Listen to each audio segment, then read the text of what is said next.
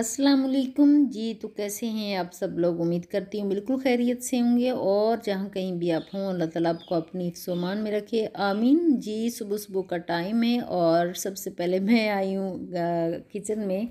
आज आटा गूंदने वाला था। आटा गूंदना मुझे ना सबसे ज़्यादा मुश्किल लगता है, इसीलिए ना सुबह सुबह ही आज रात का आटा पड़ा हुआ नहीं था तो सुबह सुबह मैंने आटा गूंदा। बहुत ज़्यादा मुश्किल होता है सुबह सुबह ये सारी चीज़ें करना। अच्छा अभी मैंने आटा गूंद लिया है और डब्बे में डाल के मैंने रख दिया है और यहाँ से थोड़ी सी सफ़ाई करने वाली थी वो भी कर ली और आ, साग पका हुआ है और उसको मैंने चॉप नहीं किया था। पहले ही मैंने रात को न, कल कल पकाया था मैंने साग तो उसको वैसे ही मैंने डब्बे में डाल के ना रख दिया। मैंने कहा जब मैं तड़का लगाऊँगी ना तो उस वक्त चॉप कर लूँगी।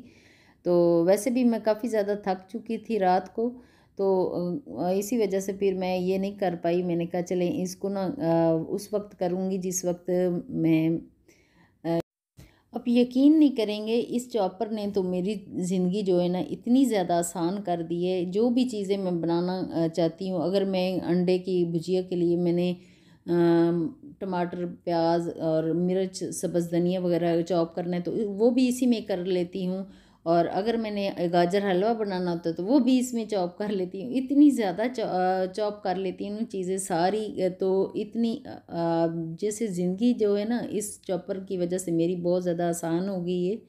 तो है भी ये बहुत अच्छा मैं काफ़ी काफ़ी अरसे से यहाँ आके ही मैंने लिया था तो यूज़ कर रही हूँ तो काफ़ी अच्छा है। एन एक्स का ये वाला चॉपर है तो बस ऑल इन वन हर चीज़ के लिए ये परफेक्ट है। तो अभी मैंने जो है ना वो चॉप कर लिया साग, अच्छे से बारीक चॉप हो गया है। जो घंटों का काम होते हैं ना, वो बस मिनटों में हो जाते हैं।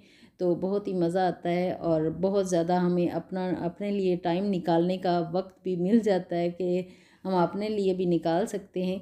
तो ये जी, ये भी चॉप करके रखा हुआ है अदरक लहसुन। इसमें ऑयल डाल के मैंने चॉप किया था। तो अभी ऑयल कढ़ाई में डाल दिए वह हल्का सा गर्म हुआ है तो मैं उसमें जो है अदरक, लहसुन चॉप किया वो डाल रही हूँ। और दूसरी सारी चीज़ें साग में डली हुई हैं, सारी बिल्कुल कोई किसी चीज़ की कोई कमी नहीं है, सिर्फ़ और सिर्फ़ तड़का लगाना है।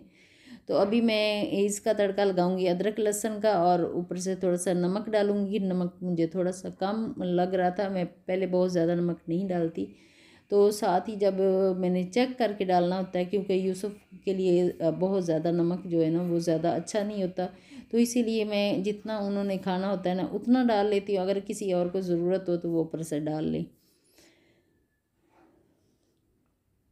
तो इसको उतनी देर तक अदरक लहसुन को पकाना है। जितनी देर तक ना उसकी स्मेल सी चली जाए तो उसके बाद जो चॉप किया हुआ साग है, वो मैं उसमें डाल के तो अच्छे से उसको तड़का लगा के तो दूसरी साइड पे रख दूँगी। और सुबह सुबह का टाइम ऐसा होता है जो भागम ऐसे भागने वाला होता है ना कि बच्चे जा रहे होते हैं अपने अपनी यूनिवर्सिटी कॉलेज जा रहे होते हैं और हस्बैंड ने भी जाना होता है तो सुबह सुबह मेरी जो ड्यूटी होती है ना, वो बहुत ज़्यादा टफ होती है।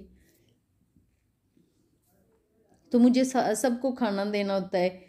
और यूसुफ के लिए टिफ़िन भी बनाना था आज टिफ़िन में भी यही मैं साग ही दूँगी।